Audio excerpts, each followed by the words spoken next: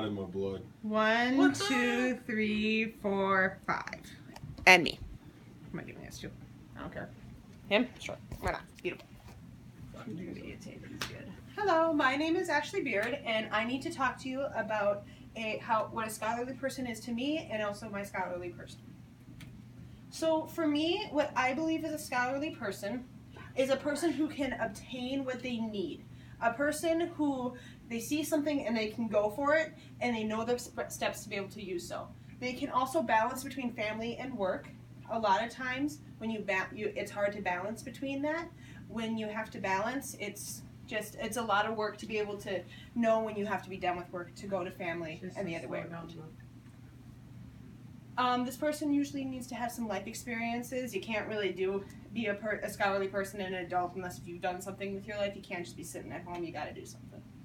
And also, you need to listen and understand others. You can't just stay in your opinion. You have to listen to other people's opinions, accept them even if they're different. So, my scholarly person is my mom, Rhoda Beard. So, for her, she is also considered my everyday hero, and she's also a scholarly person. I chose her because she is very loyal. Uh, she is able to succeed even when the odds are stacked against her. My mother was um, got divorced, and she had to work very hard to get back to where she is currently. Took a lot of work and effort and sacrifice. She also worked hard for her family. Like I said, after she got divorced, it was very difficult, and she worked really, really hard, and she helped me support two children on her own which is something that is not very easy to do, especially when they're two teenagers. And finally, she's able to support her daughters through everything. We've all made a lot of really hard changes in our lives, both me and my sister, and she has supported us through both of those. And she always is there for us when we need a shoulder to cry on or something to lean on. And I really think that she is considered my everyday hero. So for me and my academic plan is showing how I'm a scholarly person, we can start with where I started, and I started about five years ago at Winona State University. I started um, as an education major with a Spanish minor. I also added a reading minor in there in the end, and that stayed with me for about four years. But as I know, this is a story talking about how I need to remain, how people need to remain open-minded, because sometimes what you say is not what ended up happening, and what you do is what you plan is not what you do. So react to pressure, react to pressure by remaining open-minded. When you are first asked, what do you want to be when you grow up, you probably felt forced to come up with an answer. Maybe you answered with something like a firefighter, a rock star, or a baseball player. If you have to if you have answered the question with a response like I don't know, or how can you expect me to predict the future? I'm just a kid, you would have soon discovered that your answer was politically incorrect, even if it was actually the most sensible answer. Now, this is something that's happened to me more than once. I thought when I started as an education major, that's what I wanted to do. I realized about three years in, when I was too far in the program, not what I wanted to do, but I stuck with it thinking I could stick it out and keep on going. That didn't quite work. So that brought me to my current road, which is my individualized studies major. It's emphasis on Spanish and education. Um, I think this is a good fit for me because it can encompass a lot of what I want to do, and mostly what I want to do is work with people with developmental disabilities, and I can use my education background, and then I can use my Spanish background to help those if the families are, um, English is not their first language and Spanish is. My planned graduation date is actually in a few weeks. I plan on graduating in the spring ceremony in May, and I will graduate with my individualized studies major. For future academic ideas, I have an idea of maybe becoming occupational therapist. It would equal two more years of school, and that would be grad school, but there are programs out there I could do that with while I'm working. Another one is I could also go back for my master's and I'm able to do something with special education, which would be a really fun thing for me to do. It would also encompass what I'm currently doing, mixed with my education background. So for my professional plan, my past jobs, I've worked really hard. I've done many things. Um, ones that are relevant to my field, I worked as a direct support for a different company down in Winona. Uh, currently, I have two jobs, possibly a third. I'm looking into maybe working with children in a daycare. Otherwise, I work as a cashier at Hy-Vee, which was working with people. And I also work as a direct support at a company with people with developmental disabilities.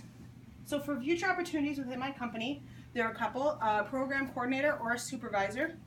I could definitely do either of those. Both of those would involve a four-year degree, and I definitely need to um, look into that. Some future one um, opportunities outside of my company.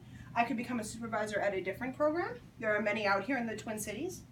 I could become an educator, like I said. I can go back to school and do something with special education. There are also jobs out there in the education field that don't involve having your teaching license. I can work with that. Or I could go back to school, like I said, I can do something completely different. I've been looking at occupational therapy, I can look at psycho- school psychology, many other ideas. So when I'm looking at my current field and what my career is going to be, I need to think of the social justice that I have. The, the social justice, which means what different difficulties are going to come up because of my race, my gender, and who I work with. So a big one is women in the workforce. We're very much so most of the people that work with me, um, everyone who works with me currently at the house I'm at is a woman. Most of the people in our company, a lot of them are women. Um, another problem will be American with Disabilities Act. Personally, I don't have the disability. It'll be my clients that do, and I would like to advocate for them and make sure that they can get the jobs that they want. Because just because they're a little bit different doesn't mean that they don't deserve that hard-working job. And finally, diversity of the workforce. We are quite a diverse um, community when we work with people with developmental disabilities. And a lot of times those people are a minority, which is perfectly fine, but we also can look at people who maybe not be a minority, and we can also look at those maybe who have some education. So, some effects socially, financially, and professionally. So, to be a scholarly person, um, you need to have time committed to your job. You need to know how much time you need to commit to your job. You can't pull 60 hour weeks and then also expect to be able to pull a family with that. Um, you have to remember your family needs. If you have a large family, you might need to be able to balance that with work. If you don't have a large family, you might be able to work a little more.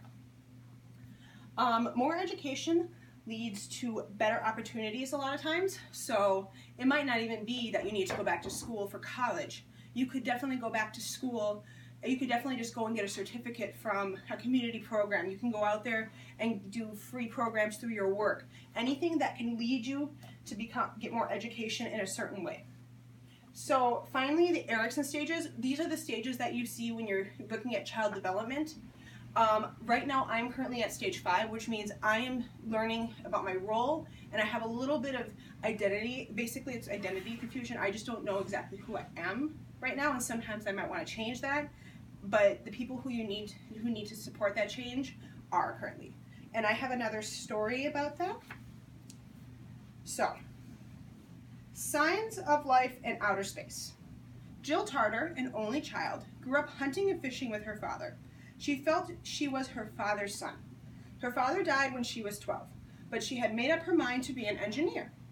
She received a bachelor's degree in engineering but found the work unsatisfying. She went back to school in theoretical physics and found to take a course in star formation. She said that was just as far as that just as far as I was concerned, a kind of eureka experience. She obtained a job programming she obtained a job programming a computer to control a spectrometer package. She worked for some years until the computer became obsolete. The old computer was then given an X-ray given to an X-ray astronom, astronomer named Stu Bowyer, who had no money but wanted to analyze some astronomical data for signs of artificial signals. He didn't know how to operate the computer, but was told that Jill had once used it. They met and began working together. He gave her a book on the search for extra, extraterrestrial intelligence, and she was fascinated with this idea. When she, when funding became available, she recruited for SETI, or the Search for Extraterrestrial Intelligence. According to John Billingham, she was chosen because she would possess these qualities. One, her competence, experience, and training. Two, her extraordinary perseverance. And three, her ability to communicate. She is both articulate and eloquent. When Jill started her career, she had no idea she would someday be searching the heavens for signs of extraterrestrial intelligence. She had decided to be an engineer.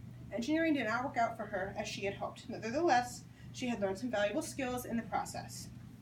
All right, so that story basically summed up my life. It basically summed up I wanted to be this for the longest time. I found out not what I wanted to do while I was student teaching, which can be very difficult, and I made the hard decision to change.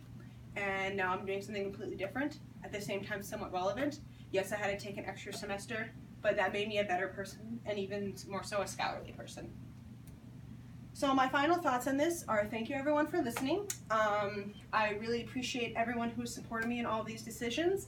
I think a scholarly person uh, can be anybody. You don't need a four-year degree to be a scholarly person. You just need to be a person who works very hard and somebody who knows what you're doing. Thank you. Shut up. How